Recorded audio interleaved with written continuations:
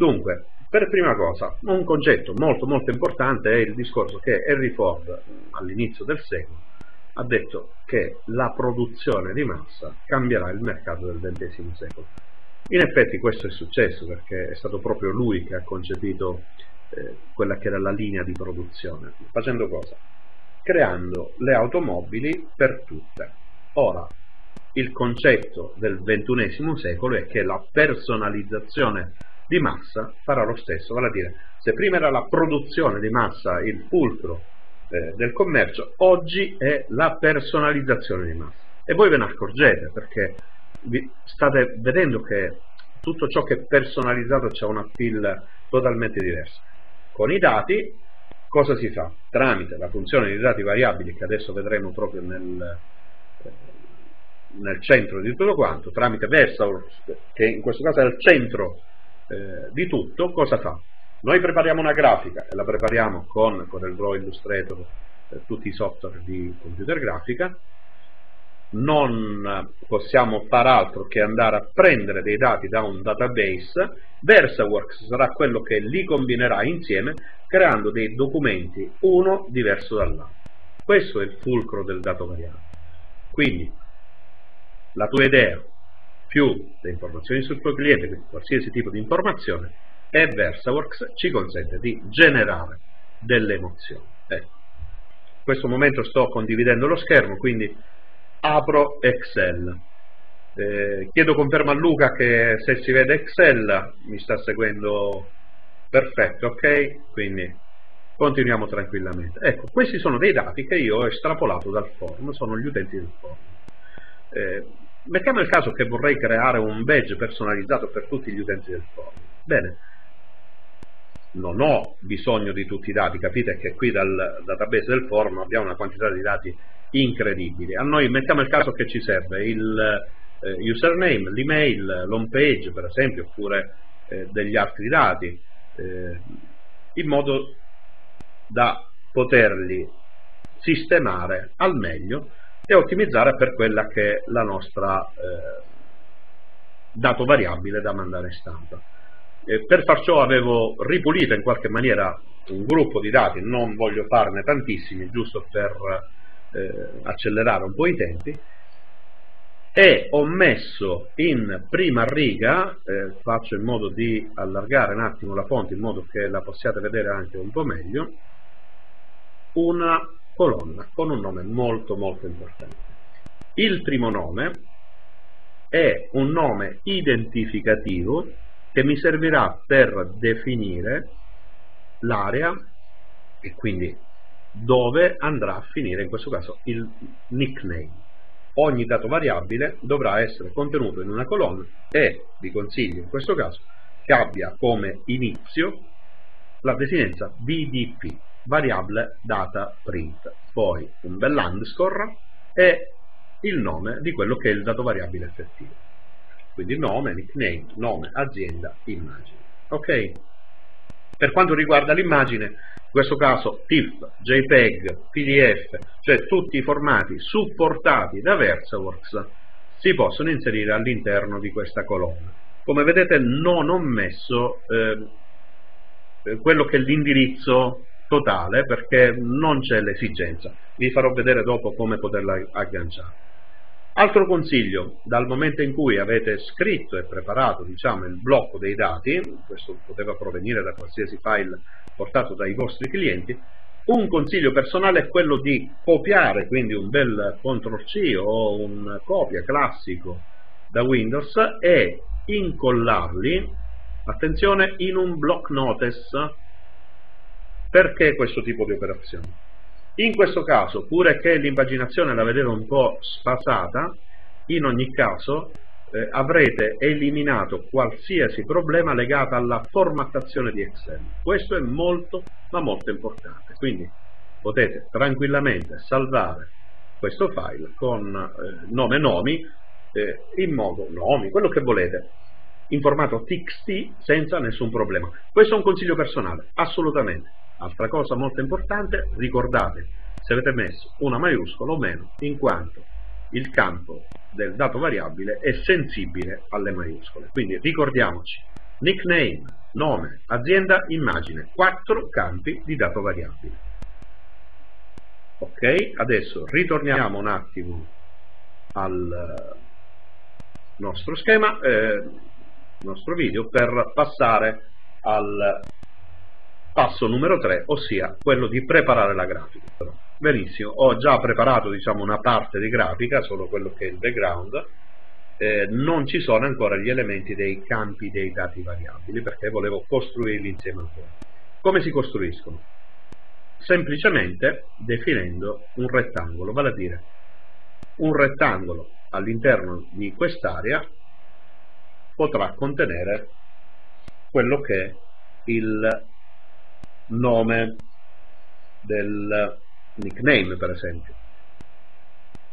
Un altro rettangolo messo un po' più in alto potrebbe essere il nome e cognome reale del nostro artigiano tecnologico. Un altro rettangolo qui in alto potrebbe essere un rettangolo che definisce il eh, nome reale quindi abbiamo nickname, nome reale e azienda da andare a sistemare vi ricordate? anzi ce n'è un altro che è immagine e in questo caso potrei fare un rettangolo su quest'area perché la voglio all'interno del logo bene, ma come farà il sistema a capire quale dato deve inserire dove? ecco, la soluzione è molto semplice sta nel fatto di andare a eh, modificare quindi andare ad aggiungere dei colori sulle nostre tavolozze personalizzate. Ricordatevi, anzi questo ve lo dico per tutti coloro che utilizzeranno CorelDRAW, eh, di utilizzare il sistema delle finestre mobili del gestore tavolozza colore, lo riprendo un attimo così ve lo faccio vedere, eccola qua, in quanto la tavolozza che andremo a elaborare sarà quella legata ai colori personalizzati, ossia questa che è la User Ink CPN, okay? che è quella che possiamo personalizzare. Qui sono su CorelDRAW X5, quindi perfetto. Cosa faccio sulla tavolozza? Non faccio altro che andare a prelevare o aggiungere un colore. Il colore aggiunto a tavolozza avrà un nome specifico e potrà essere un qualsiasi colore da aggiungere a tavolozza, in questo caso ne ho aggiunto uno, vedete qui in fondo, e il nome da assegnare sarà vdp underscore nickname, come vedete con la n maiuscola. Aggiungo un ulteriore colore, eccolo qua, un altro. Facciamo azzurrino aggiungo a tavolozza un altro verdino aggiungo a tavolozza e un altro così sull'arancio sul marroncino aggiungo a tavolozza quindi ho aggiunto questi altri colori qui in fondo vedete il primo è VDP nickname quest'altro lo rinominerò in VDP underscore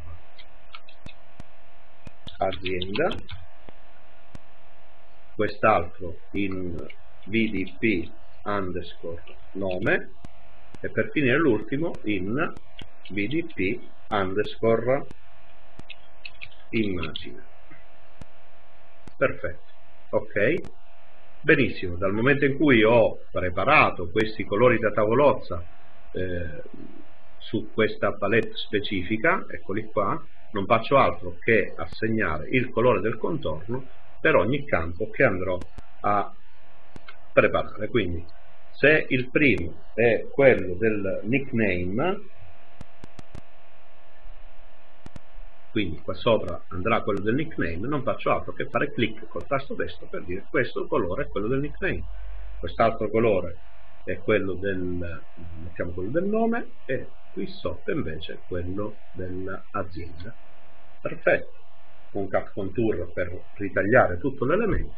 E ho preparato la mia grafica di base per il mio dato variabile quindi esporto in badge, badge dato variabile quello che è il, il file e in questo caso avrò preparato un file per la stampa eh, noi abbiamo appena aperto un file FPS, né più né meno come fate per qualsiasi lavoro che eh, create per il nostro Versource. Qual è la differenza? Nel momento in cui entriamo nelle impostazioni del lavoro del badge, avremo sulla voce dati variabili, l'ultima che trovate a sinistra, questa finestra di dialogo con questo check che abiliterà la stampa dati variabili. Se non abilitate questo check, praticamente tutto ciò che avete fatto non serve a niente. Posso anche visualizzare tutti i campi in modo da vederli al meglio. Bene, ora potete scrivere dati uno a uno da qui, ma ancora cosa più interessante è quella che abbiamo visto di caricare eh, il file generato, quindi il file di testo che avevamo preparato poco fa, nomi, cosa succederà? E voilà, automaticamente va a agganciarsi la prima riga con quella che aveva trovato nella grafica, tranne qualcosa che è successo di strano su sto lato. Vediamo subito cosa è successo. Innanzitutto, facendo clic sulla colonna, io posso modificare tutto ciò che riguarda quella colonna. Quindi posso cambiare il corpo, posso cambiare l'allineamento, cioè tutto ciò, il colore, all'interno di quella colonna specifica. Quindi se faccio clic sul nome cambierò tutto ciò che riguarda praticamente il nome, quindi che so, lo facciamo in corsivo, sempre allineato a sinistra, eh, anch'esso lo facciamo in bianco per esempio. Bene, azienda, allineiamolo nuovamente a sinistra, mm, diamo un corpo più grosso, grossetto, cambiamo il colore in rosso, come vedete tutte operazioni molto semplici da fare direttamente dall'interno dell'interfaccia del dato variabile. Ok? L'immagine. Posso usare, devo usare la funzione spoglia in modo da andare a caricare dalla cartella appunto dato variabile archivio avatar i file scaricati da quelli che erano eh, gli avatar del forum.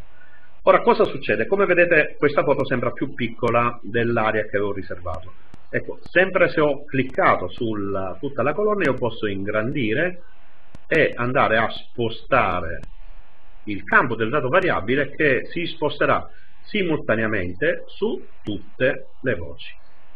Cosa ancora più carina è quella di usare la funzione traccia su fondo bianco. In questo caso ciò che è bianco diventerà praticamente il contenitore, un power clip, un clip impact.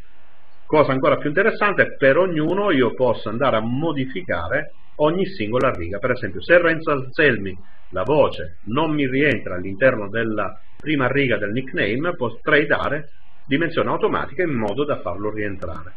E come vedete mi apparirà con un colore diverso. Bene, una volta preparati questi dati, sul layout ho già fatto e ho già preparato tutto quanto quello che serve per mandare stampa i nostri dati variabili.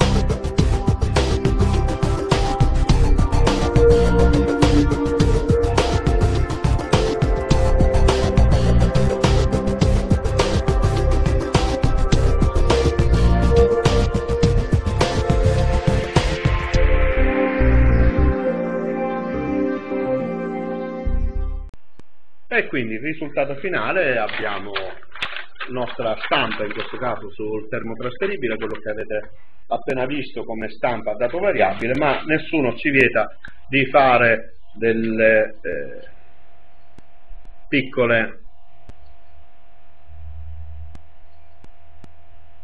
badge appunto fatte con il vinyl jet stampato e tagliato da mettere un po' quando si va in fiera a, eh, a far vedere a tutti Ok, grazie a tutti ragazzi di essere stati con noi insieme a questo mini corso. Il prossimo lo faremo assieme, ci stiamo inventando delle cose ancora più interessanti. Eh, grazie tante e arrivederci, alla prossima.